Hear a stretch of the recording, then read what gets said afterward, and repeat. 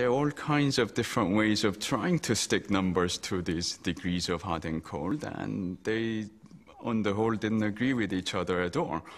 So one guy in Florence makes one kind of thermometer, another guy in London makes a different kind, and they just don't even have the same scale. And so there was a lot of problem in trying to standardize thermometers. The challenge was to find events in nature that always occur at the same temperature and make them fixed points. At the lower end of the scale, that might be ice, just as it begins to melt. At the upper end, it could be wax, heated to its melting point. The first temperature scale to be widely adopted was devised by Gabriel Daniel Fahrenheit, a gifted instrument maker who made thermometers for scientists and physicians across Europe. He had several fixed points.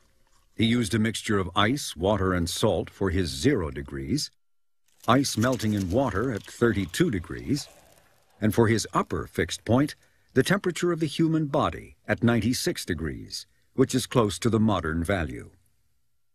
One of the things that Fahrenheit was able to achieve was to make the thermometers quite small. And that he did by using mercury as opposed to alcohol or air, which um, other people had used. And because mercury thermometers are compact, um, clearly if you're trying to use it for clinical purposes, you don't want some big thing sticking out of the patient. So um, the fact that he could make them small and convenient, that seems to be what made Fahrenheit so famous and so influential. It was a Swedish astronomer Anders Celsius, who came up with the idea of dividing the scale between two fixed points into 100 divisions. The original scale used by Celsius was upside down. So he had the boiling point of water as zero and the freezing point as 100, with numbers just continuing to increase as we go below freezing. And this is another little mystery in the history of the thermometer that we just don't know for sure. What was he thinking when he labeled it this way?